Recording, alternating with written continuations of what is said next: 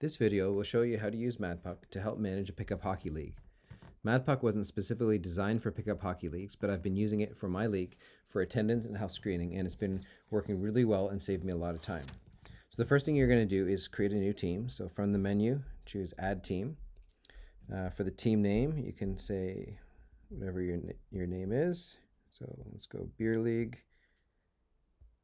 Um, for the abbreviated team name, I would use typically pickup hockey leagues have dark and light. So um, let's just choose dark, and we'll create an opponent later um, who's who's white. Um, next, you're going to turn on health screening if you if you're required to do that for entry into the rink. Uh, by default, um, health questions that are asked uh, require the player to manually answer no to each question. Um, if you enable health question default to no, um, then it allows the players to save the results without having to explicitly answer each question. We're going to enable this to make the demonstration faster when we get to the health screening section later. Next, we're going to set the home defaults. Uh, so this is going to save you time uh, later on when you're creating games. It'll automatically populate with these values. So home city, Waterloo. Uh, the arena is going to be Rim Park and the rink pillars. And we're not going to set a dressing room. So we click add and that will create the team. So we're going to go into our team, our beer league team here. And the first thing that I do is create all the players uh, before you send out the team invites so that when you start receiving the join request for the team, you can quickly associate the players to the fans. So if we go into players, we're going to first create a player for uh, ourselves. So Neil Adams. Um, now, typically, you know, not all the players will have jersey numbers. Um, if you don't include a jersey number, it'll be put under jersey number zero. Uh, the position doesn't really matter too much for uh, pickup hockey. Uh, and the only field that really matters here is the AP player field here. Uh, so if, if the AP player is turned off, that, that's considered a rostered player and they will be automatically included as present for all the games. Uh, if it's a, a sub player for your pickup league, then mark them as an AP player and then they will automatically be marked absent for uh, all of the games unless you explicitly put them into the game. So this player is a roster player, so we'll leave that turned off and we'll click add. Um, now we're going to create one more player. Uh, John, let's say Johnny, Johnny Turnbull. Uh, let's give them number 77 and um, position doesn't really matter too much. Again, uh, AP player we're going to turn on, and this is a sub player for the team. And choose add. Um, so now we have created our players, and we'll go back to the uh, team dashboard. Next, we're going to create an opponent. So for that, we're going to go into the games at the top. Uh, we're going to go to the menu and choose opponents and add opponent. And here we're going to go uh, white and abbreviation is white and the home information doesn't matter. So again, with a, a pickup hockey league, typically you have two colors, um, light and dark. Um, and so this represents the, the second team that's, that's playing. So the dark team is always playing the white team. And choose add. And we see that we've got white added and returned to the games list. Next, we're going to create a game. The most recent games are at the top of the list. I, I did find that some players didn't read the dates correctly and submitted health screening for the wrong game. So you might consider only adding the next few games in instead of the whole season. So you don't have to sort of scroll through the list to find the right game. The the next game is would be, always be at the top if you only um, enter the next one. Um, I'm looking to make some improvements here to make it more clear which is the next game. So anyways, we'll we'll choose add game. Uh, select the opponent. Uh, there's only one option select a segment um, and just choose regular for this. Um, and then we're going to choose the, the date and time. So let's do uh, 7 a.m. pickup hockey, which is what my league is. The location uh, is home. and you'll notice the city arena rank are all defaults that we created earlier when we when we created the team. Um, and the rest of this information uh, is, is not needed for, for pickup hockey. So we've we've within um, 10 seconds you can easily create a game. The main thing is just setting the opponent segment and the date, and click add, and there's our first game created. So we're gonna go back out to the team dashboard. Uh, the next step is to send a message to the players uh, on on the team uh, to, with a link to join the team. Uh, I've included a sample email template that you can send to them on the MadPuck website, and there's a link to it in the video description. Uh, so you're gonna, in order to get the link that you can send to the players, you're gonna go into fans, and then at the top, invite to team, and then I'm just gonna choose notes here. But it's probably easier if you just send, uh, instead of opening a note, send it to yourself in an email or a, a message. Uh, and then at the very bottom there, you can see the uh, the link to your team and when, and when someone clicks on that link, it'll send you a notification uh, to approve them joining the team. So I'm just going to click cancel and return to the home screen. Next, we're going to have one of the players join the team. So I've got a second phone here uh, beside me, and I'm going to click on that link for that player. And we should get a notification coming in here. And so you can see the Beer League, uh, there's a request to approve this fan. And if you click on the notification, it takes you back into the fan screen. Um, and if you click on the player to approve and choose change role, or you can just check click on the check check mark to to approve them. Uh, now you need to choose the role for this fan. So we're going to choose player for for anyone that joins the team, and then we need to associate this fan with the player that we created earlier. So right below it, you can see select player one under player, and we're going to choose the player there. So now they're now they're associated and we choose save. And then here you can see now Neil Adams, the player, um, and they've got his uh, uh, email address, phone number, and player associated there. You're also going to want to see, associate your fan with your player as well. So if you click on the U, the, the first line there, and choose change role, um, you're already by default given the statistician role and the MadPuck administrator. Uh, so you're going to also give yourself a player and select the player for yourself. So we'll give we'll give this person Johnny Turnbull and additionally choose team manager and that's going to allow you to uh, see all of the health health results for all the players. So by by default the the administrator role does not allow you to see all the health results. And choose save and back to the home screen. Next, we'll look at attendance, which is one of the primary features you're going to use in MadPuck for pickup hockey. So we're going to go into the game screen and then choose the appropriate game and then view attendance. And so as the team manager, when you come in here, you're going to see the attendance for the whole team. Uh, your players will only see their player names listed, not the attendance for the whole team. Recall we made the Neil Adams player a roster player, so they're automatically marked present in the game, and the Johnny Turbulence player, who I thought I marked Johnny Turnbull, but I guess it was a typo, uh, is an AP player, and so they're absent by default. Now you can edit the attendance yourself for any player. Just click on the X to move the player to absent, or click on the check to move them to present. Now on Android, this is a little bit different. Uh, you're going to first click on the edit button, which is the pencil icon on the top right of the screen, and then select absent or present button beside the player.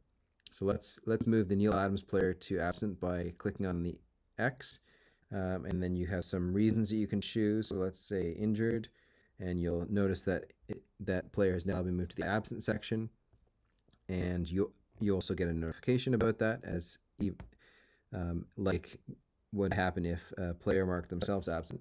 And then we're gonna, let's choose Johnny Turbulence um, and we click the check and they're automatically moved into the present section with no reason required. So each player will be able to come into the attendance screen and mark themselves absent in the same way. If they want to come back into the game after being marked absent either by them or yourself, you will have to do that for them. And when an attendance change is made by a player, you'll get a notification. And once uh, once you get an attendance notification, you can look for a uh, replacement, for example, a, a, sub or an AP player, and then you you manually move them into present for that particular game yourself once you've confirmed with them. Um, and you can do this through the chats feature in built into MadPuck, which we'll give a little bit of a demonstration later, or through uh, email or whatever whatever means uh, is best for you. So we're going to return back out to the game dashboard. Next is the health screening, which must be done before each game by each player. So we're going to choose health screening. Uh, the first option here is the only option that will be shown for the players on the team and will allow them to do their screen. In this case, our health screen is done by clicking on Johnny Turbulence. And because we have the default set to no option from the team, all the answers are no, and you can sort of quickly review the, the questions here, and we just have to hit submit for that uh, for, for us. Uh, and then if we click on health screening again, the second option, which is another player, uh, allows you to screen any player on the teams. So, for example, if you're at the arena and a player forgot to screen or doesn't have the phone with them, you can verbally ask them the questions and submit the result on their behalf. So, we're going to do that for the other player. And um, in this case, we're going to let's choose yes for one of the, the questions and choose submit. The health results section allows you to see the health results submitted for each player, and it's uh, found right below the health screening. So we'll click on that. Uh, if you don't see it in the list, make sure that you set the uh, team role to be uh, for your user to be manager, which we did earlier on uh, in this demonstration. Uh, this is the screen you probably want to have open when you're at the arena and making sure everyone is there and they have submitted their health screening correctly. The screen is organized into two sections, present and absent players. This allows you to ignore the players that are not at the game, which makes the verification at the door uh, much smoother. Under the present and absent section headers, you can see the number of goalies and players that are in that section. And then to the far right of the player is an icon. Uh, it can be either a question mark, which means they haven't yet submitted, a green health indicator, which means they have uh, submitted uh, good health screening, which all the answers were no, or a red health indicator, which means they have uh, answered yes to some of the questions. Uh, it, of course, if they answered, um, if the health results are, are red, you should contact the player and ask them not to come to the game and mark them absent. Now, typically, if if someone's answering yes to a question, um, they probably wouldn't have filled out the health screening in the first place. They would have just marked themselves um, absent in the attendance. So you typically won't see those red results, but you can keep an eye out for them. And then below each player in this list is the time they submitted the health screening and who submitted it. So it's typically the player that submits it, but it, might also be yourself if you did some some manual screening. And then uh, so you could sort of verify the the date and times is not too far in the past. You know, you typically want results submitted within the last 12 to 24 hours at, at your discretion. The the screen will be updated automatically when new health results come in uh, which may happen as people line up to get into the arena. And ideally, before you enter the rink, you should see all the green health indicators uh, in the presence section of the health results screen. Let's return back out to the team dashboard. The last feature I want to talk about is the chats feature. So let's select chats and add chat. And then you have two options here. Um, you can create a group chat by clicking new group or uh, a one-on-one chat by selecting uh, an individual fan. So we're going to create a new group here. And um, you have two options here. You can choose uh, the specific roles. So for example, all we, we mark all of our players um, as the player roles or all of our fans as players.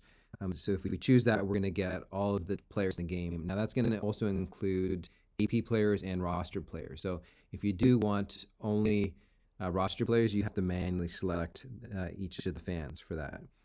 And so we're gonna we're gonna choose just the players. And so th this would be useful if you want to send out a, a reminder for a game uh, to blast the entire the entire team.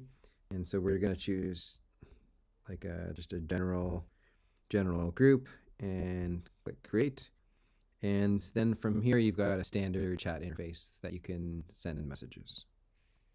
Um, from the from the menu, you can choose group settings, and you can see that we've got the roles player selected for this, and you can also see that there's one admin admin fan, which is the the fan that created this uh, this chat, um, and then they have the ability to add remove members. And so you can change the, the subject or the group name, and you can also uh, remove people from the group or remove roles from the group and um, add new members if you want as well. So that's it for chats. Um, attendance and health screening are probably the two main features that you will use for pickup hockey. Uh, now, MadPuck does have a lot of functionality built functionality built in for entering game events like face-off shots, goals, and penalties, which are used to create a play-by-play and statistics for games. But it's unlikely that you'd you'd use this for pickup games for a few reasons. Uh, first, you probably don't have fans while watching the games to enter the events. Second, the players and goalies typically move freely between the teams from week to week or even during the game. And most importantly, MadPuck stats are designed to work from the perspective of a single team, and with pickup, you have two teams. So I think the best you could do here is enter the final score after a game, which would give you a record of which team won, either black or white. So just a quick demonstration on how to do that. You'd go into games, you choose the game, you choose track live game events. Um, you want to track time, which is uh, allows you to quickly enter the score here. So if you click on the scoreboard uh, for for the dark team, you could enter the enter the final score there. Uh, the white team final score, and then you could choose game over.